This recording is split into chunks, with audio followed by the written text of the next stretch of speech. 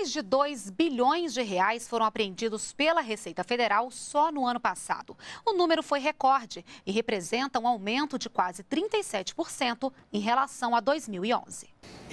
A Receita Federal realizou cerca de 2.600 ações ao longo do ano passado. Entre as mercadorias recolhidas estão armas, munições, produtos tóxicos e falsificados. Foram apreendidos mais de 12 mil veículos, quase 162 milhões de cigarros, 581 armas, cerca de 7 toneladas de maconha, quase 800 quilos de cocaína e mais de 300 quilos de crack. Houve um investimento significativo na parte de inteligência e informações, uh, um, um, programa muito forte de cooperação com outras agências de fiscalização, notoriamente a Polícia Rodoviária Federal, Polícia Federal, as polícias estaduais. Então, uh, todo um trabalho de, de, de planejamento das ações, uh, utilização de tecnologias também, né, de rastreamento de veículos, tudo isso levou a uma maior eficácia na administração dos bens apreendidos e, e os números aí estão confirmando esse processo.